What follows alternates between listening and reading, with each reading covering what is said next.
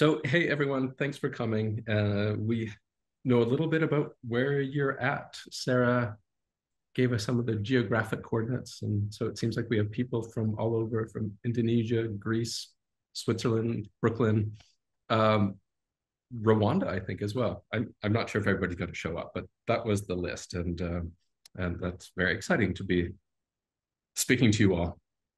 Um, the, we're going to say a little bit about the program and how it works and how it's structured and how it was conceived, uh, and maybe even talk a little bit about the application process because I'm guessing that's one of the reasons you're all here is to think about applying and what that might mean. And then we'll answer whatever questions you might have about the program. But but just to say a few basic things, the the it's a CCCP, Critical Curatorial Conceptual Practices in Architecture. It's, I guess we used to call it a young program. Now it's in its adolescence. it's around 14 years old, uh, but but still, you know, growing in terms of um, innovating and, and expanding through our graduates, um, expanding to all parts of the planet. Um, it's a two-year graduate degree. Uh, it's a research-oriented graduate degree. Um, and we'll talk a little bit about what that research is, but, but it might be helpful just to understand a little bit about its history. It was conceived in a way to allow students to sharpen their research and writing skills. Um, and at the same time, it was designed as a platform for students to develop different approaches to practicing architecture, or I guess approaches to practicing architecture differently. And and by this, we mean that students come into the program in order to think about how to become research scholars in architecture, to develop conceptual and research-oriented design practices, to think about being curators or how to work in museums or galleries uh, via a research design practice or a research practice, or to work in publications and or as editors, or or to define to define entirely different paths or trajectories for practice. Um, and, and so with that, you know, relatively broad set of ambitions for the program, that, that what that meant is that the program also has a relatively open structure. Um, in the first year, there are only two required courses. There are the colloquia that we teach, each one of us teaches one per semester, and then the students are required to take three other classes. And, and those classes can be whatever electives best fits the student's research trajectory. So that might be that a student who is very interested in history and theory and architecture specifically takes those classes within the School of Architecture. But we have students who take classes in art history, um, they take other classes at GSAPP that might not only be history theory related. There are visual studies classes that are sometimes really relevant or different types of research courses within GSAPP Students this semester are taking classes at the law school, which has never happened before. And somebody's taking a class in the music school. We've had students take classes in the film school, um, anthropology, or the um, MESAAS, which is the Middle East uh, and uh, African South Studies program, South Asian and African Studies program. Um, and, and so, so this structure allows you to take courses from where you want. And, and, and the reasoning is that you will have a very specific research agenda as you come into the program or a set of research interests and, and those classes that you will take will help you develop those research interests. Or or you may have an idea about what the research is that you want to do and you might think that you are interested in something that has a kind of anthropological bent and so you'll take classes to see how that works. Um, and so so the freedom of the curriculum is also a chance for students to explore different methods and to work with different faculty across the university but also to start thinking about honing and developing their individual research work um, maybe maybe yeah, just add yeah. one more point. No, that uh, which is to say that you know some students, um, as Mark alluded to, come in having a very clear uh, research agenda and direction. Sometimes it relates to their previous education or modes of practice. Sometimes it's entirely different, and and you know, as Mark indicated, you know this um, this openness of the curriculum allows students flexibility. And for some people, that's a very easy thing to navigate. For other people, they might need a lot of advice from us. And, you know, we're always here as resources, as our other faculty to try and think through curating how to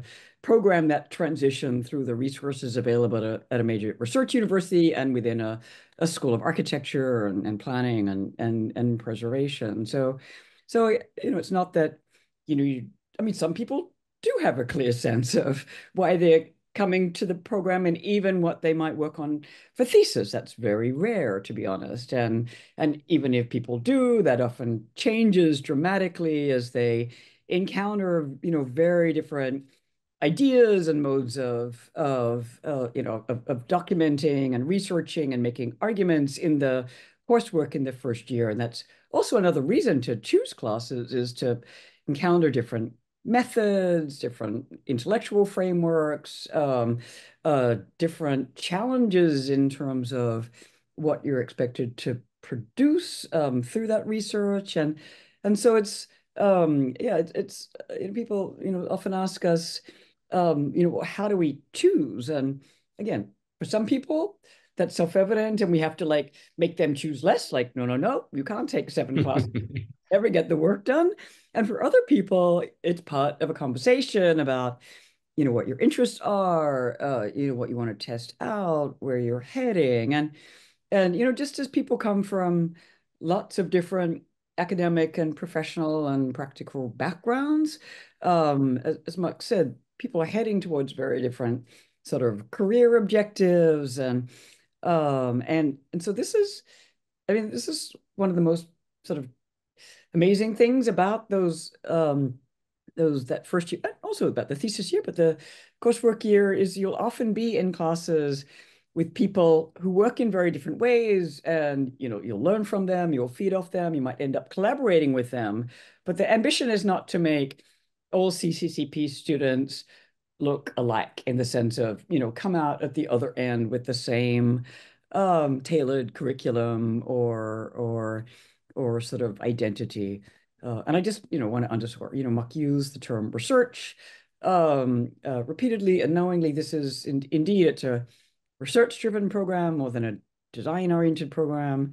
Um, you know, people do sometimes make drawings and and there's a you know creative element certainly to some of the output, but um, where you know really training people, it's not like a practical program in the sense of training you how to become a curator in the sense of what it would be like to work in a gallery. Those are the sorts of things you learn outside outside the program, sometimes with the program's help or the school's help, sometimes beyond it, in internships um, and the like. So yeah. Um, maybe we should talk a little bit about thesis then. Uh, just so if if the first year has uh, open structure for all of the reasons that Felicity has just articulated, um, and and I think it's important. Just I know she said this very clearly, but I'm just going to say it again. You're not left on your own when we say it's open. That doesn't mean you're abandoned. It means that you have freedom, but you also have lots of advice. We ask all of our incoming students to speak to us about their course selection, to make sure that it makes sense for what they're planning, to make sure that they're not um, overburdening themselves.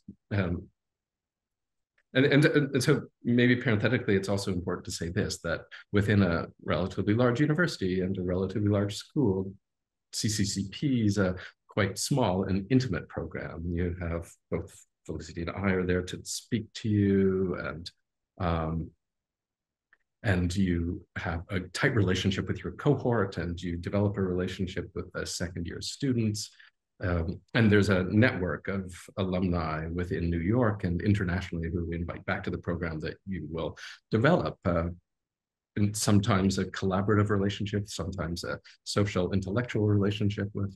Um, anyway, back to thesis. So the second year is primarily devoted to the thesis work. You take one other class, you're required to take one other class per semester, and ideally that class somehow meshes with your thesis research objectives or or um, or it might be that you're doing a project that does require some kind of technical skill. We've had students who've done like critical mapping projects, and so they've had to learn those skills. And so you might do that in second year, take a class that helps you think through the format of your thesis.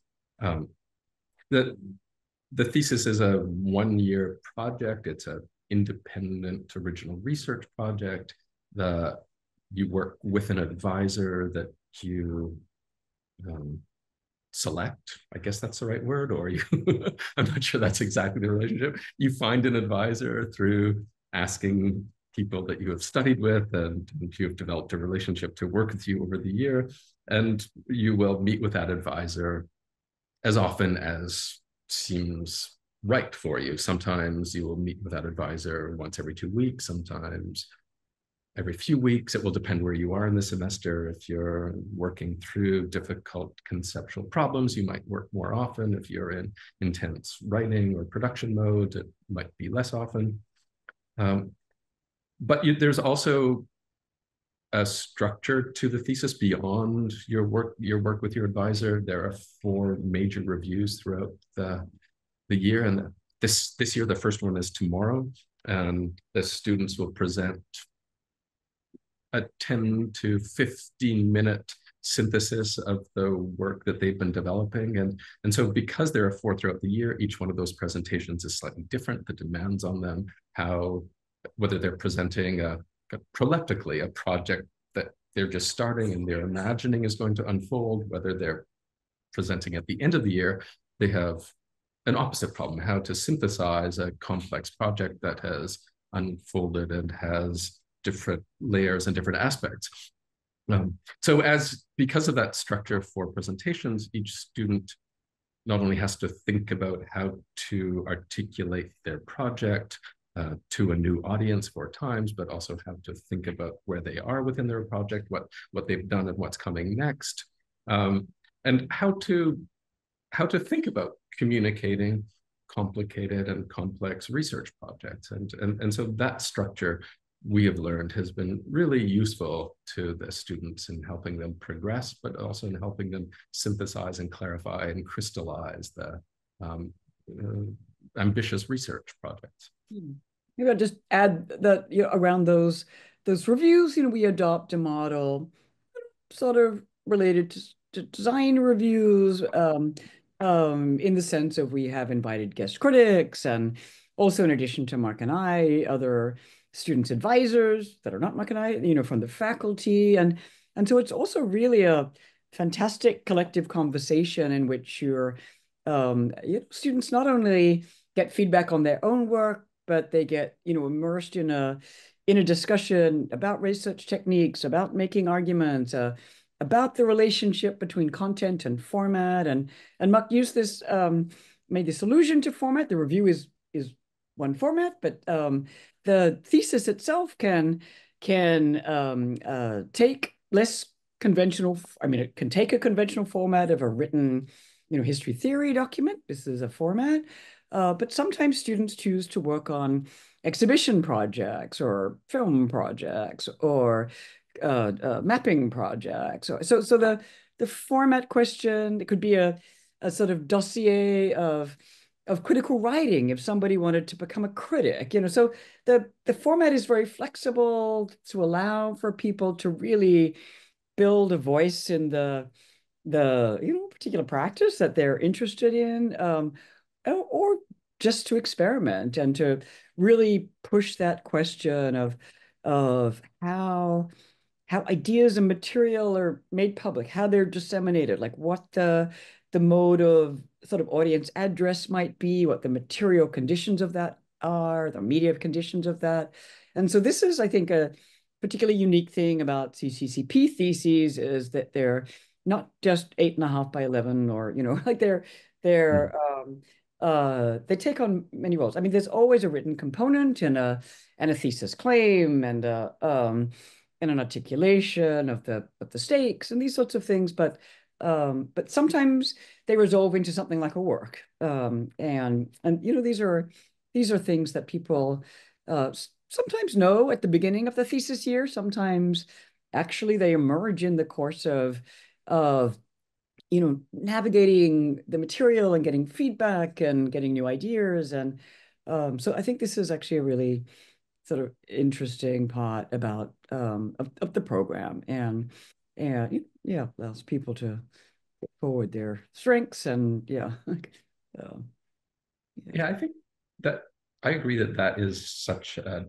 important and productive and fruitful aspect of the program and as Felicity said, it would be very, very rare for somebody to hand us a stack of eight and a half by 11 sheets. Um, in part because there's i don't think there's a precedent for that number one. And two the the conversation would have unless there was a very clear conceptual reason for doing that the conversation throughout the year would have foreclosed that as a format possibility. Um, but but so many people will submit written primarily written theses but but they'll be working with images they'll be working with media they'll be working with archives there'll be there'll be evidence of the textual or material uh, uh, that the research is organized around. And so the question is how should that come into a publication? How should that be communicated? What is what is the, the simple question of how many images to use and, and how would you show them?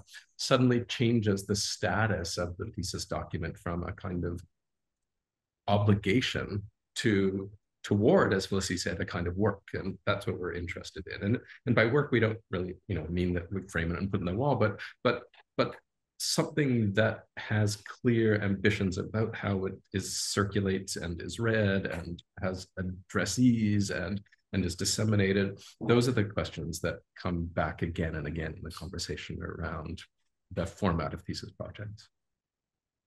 So maybe, you know, if they're the um the sort of key components of the, the academic curriculum and, and expectations. We should say a little bit more about the sort of, you know, informal aspects of the of the uh, you know what are also seen to be pedagogical initiatives. And i'm not just talking about the public lecture series and those things but they're really important. And and at least one a year is driven by cccp we also run workshops to to introduce you to people um, uh, either in the city or who are coming through who have a particular type of practice that we think is really relevant to CCCP.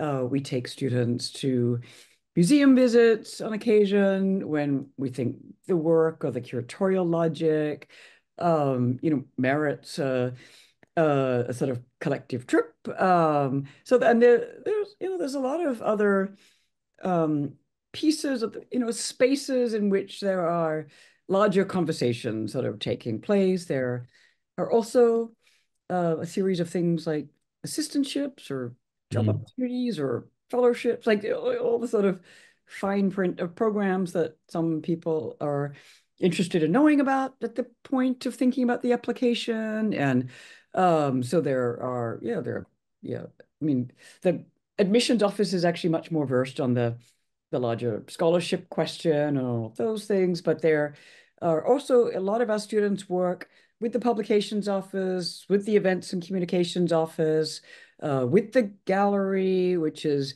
uh, not yet really fully up and running. There's a, a new director um, uh, that hasn't launched his first show yet, but there's a, um, a sort of informal network of employment opportunities that are are really geared towards sort of our student body being the the answers to them. There are other assistantships working as teaching um, teaching fellows or research assistants, these sorts of things. The the Buell Center for the Study of American Architecture often hires our students. Um, Barnard, which is where the undergraduate architecture program between Columbia and Barnard colleges are, um, also regularly hires our students as as teaching assistants for some of their courses, uh, which can be a fantastic opportunity for somebody who's thinking about testing a, you know, a voice in teaching and getting that experience in the classroom. Um, so there's lots of these sort of, yeah, informal, informal, there's a Avery Library, as I'm sure you all know, one of the, if not the major research library for art and architecture, particularly for architecture. They have um, summer archival internships that almost always involve one of our students uh, processing new collections and you know really training people what an archivist does at, at that level. And those are that's a paid you know paid position. And uh, so there's lots of other sort of activities that relate to the program or or or other parts of the university and that reach out to us looking for uh, looking for students to to bring into their their um, um, yeah, fellowships and employment opportunities. Yeah. What else am I forgetting, Mark? Um, I think all of those ways in which the program exists and expands and is amplified outside of the coursework is really important to understand because it's it the culture of the program is conversational and discursive and and there's a we have a good group of colleagues not only at GSAPP but but that who are friends of the program who come to reviews and and and so when we visit museums to speak to a curator often those are people who are friends of ours and and and so there's something about being in New York and being within the intellectual cultural space of New York that is really important for the program as well um, hmm. Oh, student initiated events. Yeah, I forgot to talk about those. Yeah, that, that's right. Also those. Yeah. That's, so fantastic tradition. Oh, you can talk about those. Yeah. I'll hand yeah, so we have we have a great tradition of a student-run conference called Interpretations, and almost every year, sometimes depending on you know for whatever reason, um, it skips a year, but that students conceive of a theme or a topic or a set of research questions. They think of people they want to invite. Sometimes those people are architects or scholars or researchers or artists or novelists, de- again, depending on the theme. Lately, we've had themes on disobedience and what that means and what and we've had we've had projects work students working on um, intersections between literature and architecture the first year was and at some level a relatively straight set of questions around architectural curatorship, but but also a really important event that became the foundation for the yearly interpretations conference. And so the students not only conceive and think about the the structure of the symposium or the conference, they invite speakers, they serve as introducers and respondents sometimes. And, and so it's a it's a just one example of the types of projects that you do within the program that are just kind of adjacent to coursework and adjacent to your own research, but are really helpful for you to not only meet people who might not be in New York or might not be at the school and people that you want to have a conversation with, but but they also allow you the the experience of putting together um, an academic conference, which is very useful experience for many of you, as, especially those of you who are thinking about careers in academia or careers within cultural institutions.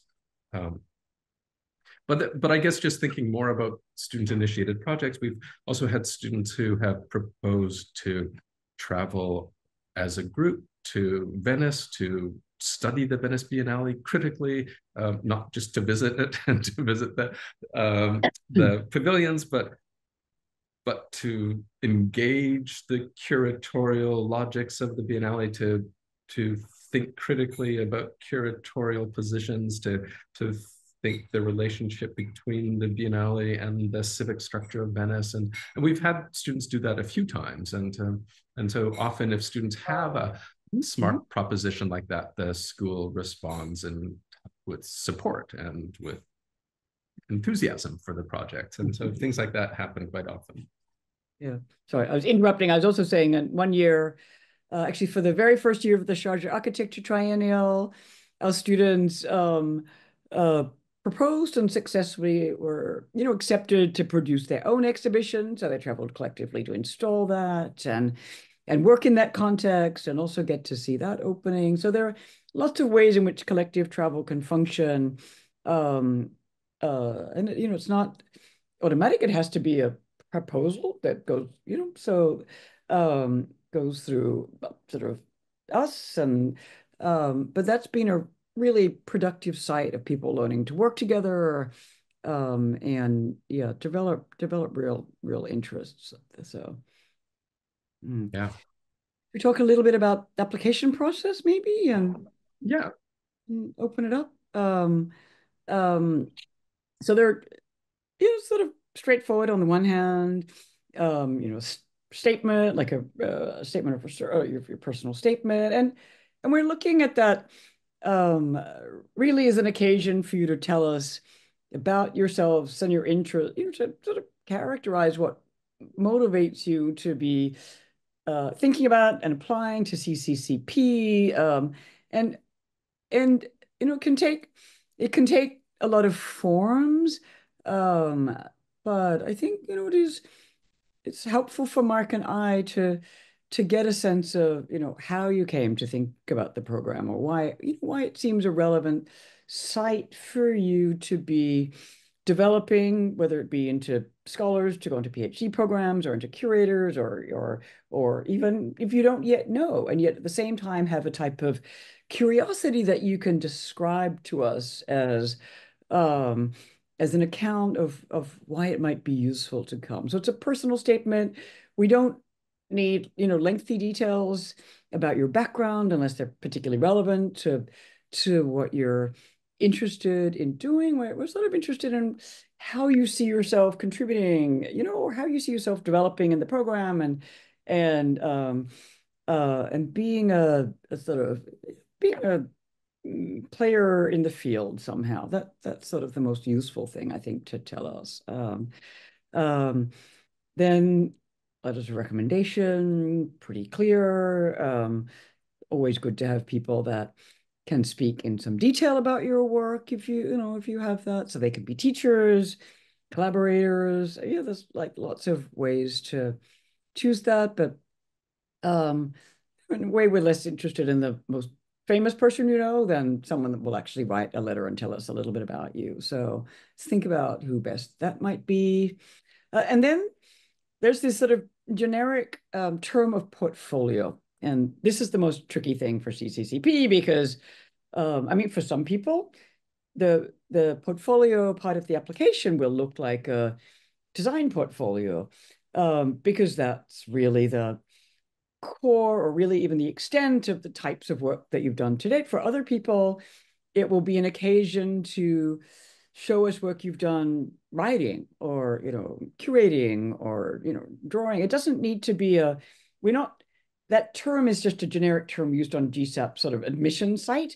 Um, but we're not looking for a conventional design portfolio. We're looking to see how else you can describe yourself through the documents that you've produced and um, um, and how you edit them down to a, a you know small communicatable um, sort of claim on on what you do and who you are. And and you know some people have never done design work. We don't expect you to do design work to apply. We expect you to think about the strengths you have so it can be an entirely writing portfolio for people that come from a writing background or can be a, a photo portfolio i mean if you come from an art background it can be art you know so so think about how how you want to best use that as a parallel channel to the description to characterize yourself and your interests. That's that's really the the goal of the of the of the portfolio.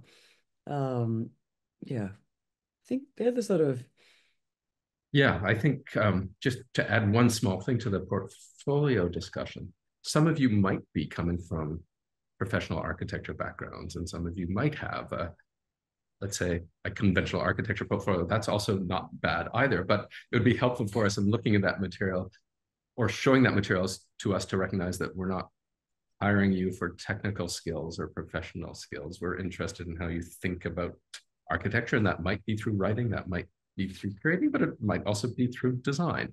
Uh, one path through the project is that students many of our students come from design backgrounds and, and some of them are looking for different ways of practicing architecture, but some are thinking about how to return to design practice with a slightly different agenda or different set of skills or different way of thinking. And, and so you might, if you have a design background, you might alert us to which projects or include the projects that you think pose some sense of what type of work best represents your critical reflect, reflections on practice and on what you're doing.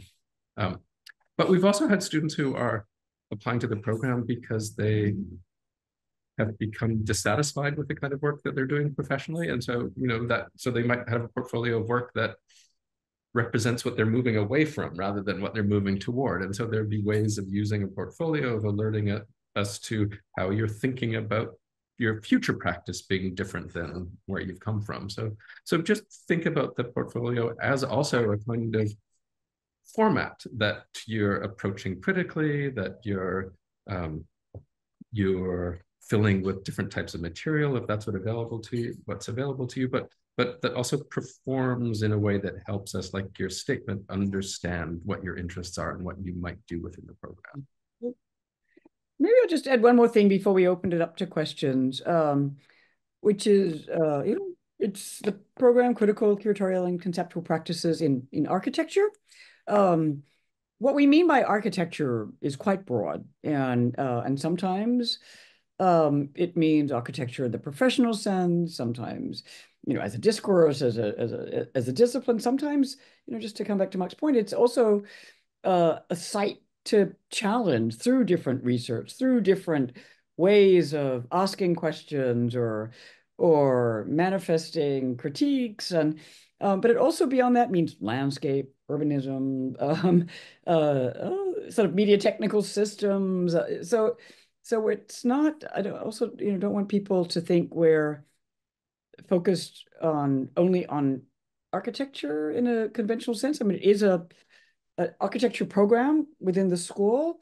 Um, but like many others, it's also one that's really designed to critically rethink the parameters of the discipline, how one might operate within it, how to practice in it, how to you know, have a less conventional design practice. That's often what people come into the program saying, you know, I finished my degree, I worked, and then I realized that this is not really what I want to do. I, you know, I want to be involved with architecture, but using very different voices and very different mechanisms and institutional frameworks and um and you know I, I sort of want to develop the skills to be able to to mobilize you know otherwise you know differently and and so so just to say architecture um you know has scare quotes around it a little bit it, it you know some people are very focused on um uh, architecture as a professional, um, uh, you know, easily circumscribed practice, but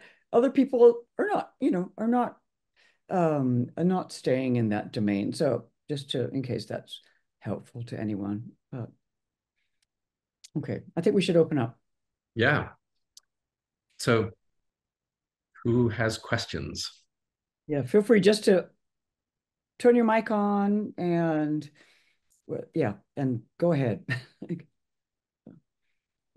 I don't know if you still remember me. I was at the Yes, hey Daria. Yeah. Um so I think I have one more question about the application process. Is that I was talking to Sapien, is that yeah. his name? Yeah, and he told me that we have like different advisors that we can choose from to lead our thesis. But he like stopped explaining halfway, so I was kind of confused. Mm. I'm I'm I'm not sure what he meant. I don't think in maybe I'm misunderstanding, but in the application process there, you don't. Oh, you're cutting out, actually. Yeah. Uh oh, Daria, something's wrong with your mic. I'm so sorry. I type in the chat.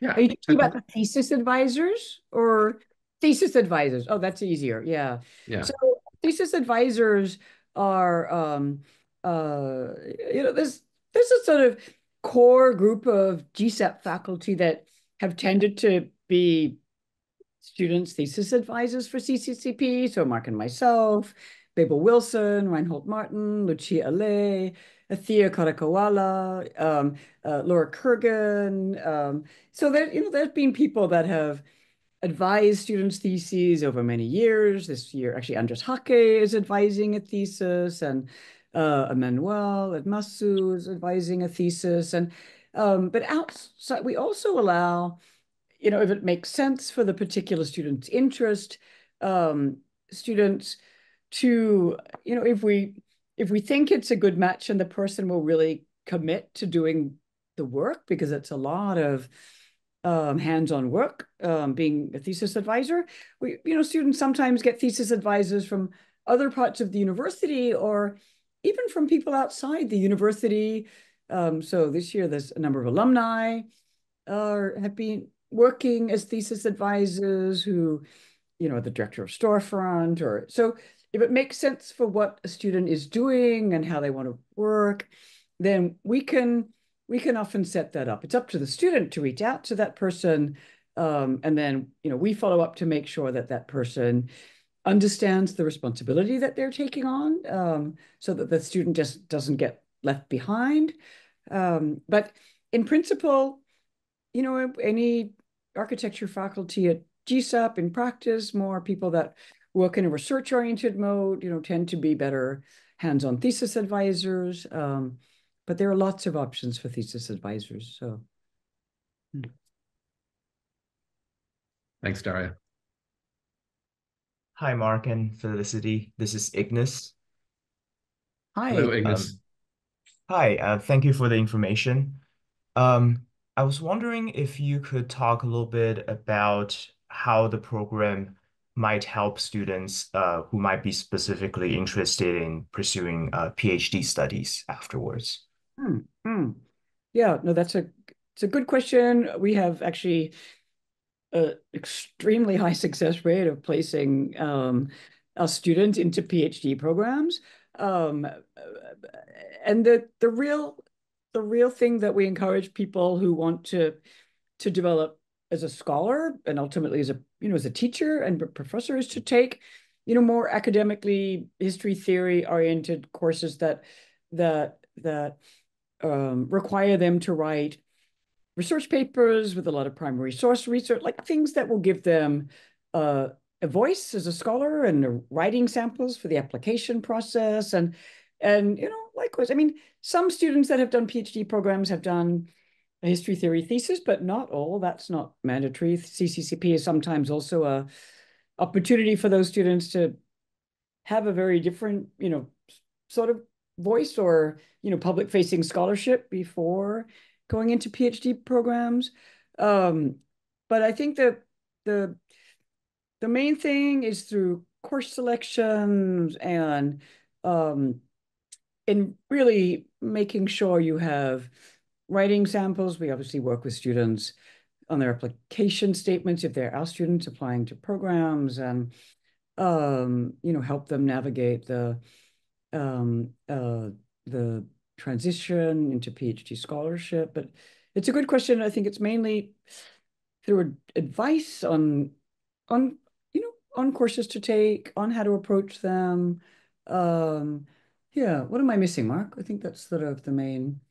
I think that I think that's all really useful. That I think I think it's also worth stressing that the especially the American architectural history theory degree is, is a very particular degree. And so many students have come to our program as a way of testing whether they're interested in the uh, American university PhD format, and, and if so, how to become more familiar with what the expectations are and how to think about it. Um, uh, some international PhDs don't have the same coursework requirements that American PhDs have, and they don't have the same time commitment that North American PhD programs have. And so using the program as a way of not only developing your own thinking and writing and research skills and finding a voice as a scholar, as Felicity said, and I think that's paramount, um, but also becoming aware of what might be required of you in, in a program in North America, I think is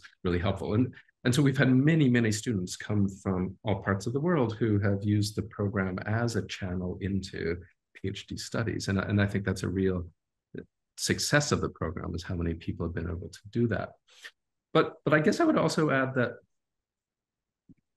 because applications to those programs are so competitive, you also have to stand out as a writer and a scholar and a thinker. And so what Felicity's saying about voice is not the same thing as checking all the boxes and showing that you've taken your all of your history requirements. It's something else. It's like showing that you have a kind of conceptual agility, that showing that you have some kind of ability to work with primary material, showing that you have an idea, uh, some ability to take on complicated research topics, to challenge some of the premises of architectural thinking and its disciplines and, and, and how it reflects back on itself. And, and the top PhD programs are going to be interested in students who can do that, who can show up as, as sharp and agile intellectual interlocutors, not people that prove that they've taken all of the required courses.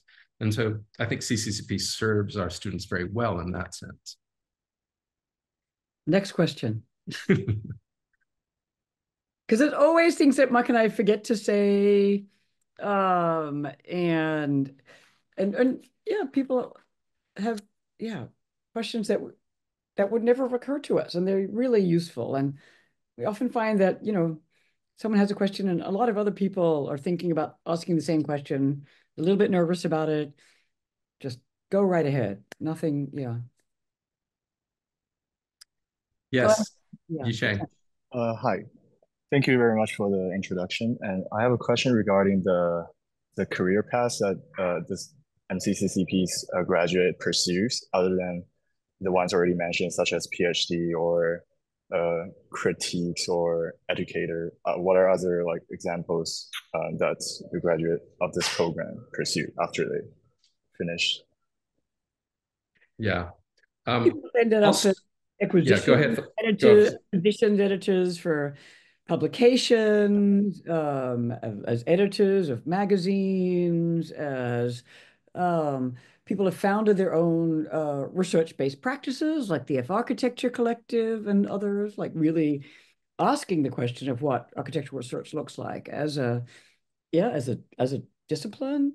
Um, people have ended up like the head of the Architecture League is a graduate of our program. Um, uh, so institute directors, people have founded their own galleries and research institutions um, coming out of the program. So yeah, there's a there's a Mark. I don't know. You probably have other things to add, but you know, there's no, a, no, no. That's a good spread. I was just when Daria remember this. This question came up in the open house on campus, and I was just thinking, as a as a as a test, I was just trying to think of students who are in New York City, and and so there's Jacob Moore, who is the director of the Architecture League. There's Jose Esparza, who's the director of the storefront for art and architecture, you know, one of the most important architecture galleries in the world. There's Augustine Shang, who's the production director at Cara, one of the most one of the hmm. most interesting spaces for art architecture in the city now. There's Nora Cowie, who's a graduate who's who has a research practice and she's at Cooper Union. There's Marty Wood, who is uh, an, an associate editor, assistant editor at the Architects newspaper. There's Alex Tell at the Michigan Gallery. There's Joachim Hackel at the Met. There's Johnny Tran at the Met. Um, mm-hmm. And we've got people at MoMA. And so just that spread alone, uh, and Zoe uh, Nailbuff, who is um, an editor for Inventory Press. And so you get a sense that, as Felicity is saying, cultural institutions of different stripes, um, often museums and galleries, but but also publishing institutions and, and, and, academic institutions. Many of our students find their way into those kinds of spaces and those kinds of practices. Um, that doesn't mean that you can't keep expanding um, future yeah. for CCCP graduates. Um, yeah, I don't. Yeah, I don't want that to sound like a sort of. Yeah, that's just that's just you know just the New York graduates who off the top of our head, but we had an event uh, for the 10 year anniversary of the program in the desert in Wadi Rum, which had some significance for the program because we used to do group travel there. Um, and we invited many of our graduates to come back to talk about the work they had done since graduating. And and and we've got a small publication. And uh, if any of you want the, one of those, you should just email us, and we can find a way to get one to you. But but what was interesting about that event is that students spoke about all of the different ways that they have developed practices since leaving, and, and it's an incredible breadth of of ways of working. Um, some, you know, I think we've hit most of them. Some you know, people are very um, involved in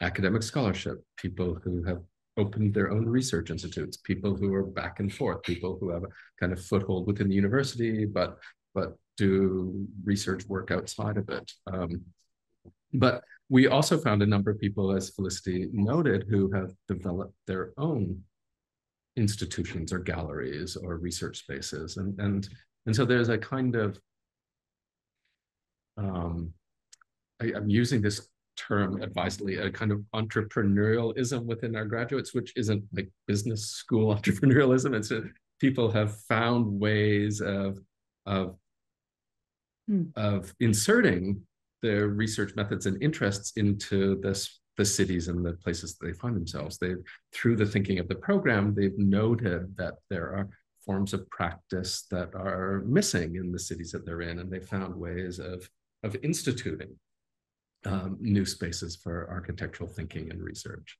Um, and some of that is that you know all of our the work of our graduates is just shockingly impressive, and we're incredibly lucky in that sense. Um, but people, but, and Doc alluded to this earlier, have returned to the, a design practice, but with yeah. retold with a slightly different ability to be able to articulate the stakes of their work and how they practice and, and these sorts of things. So this is, hmm. yeah. Does that help you, Chen? Yes. Okay, great. Who else?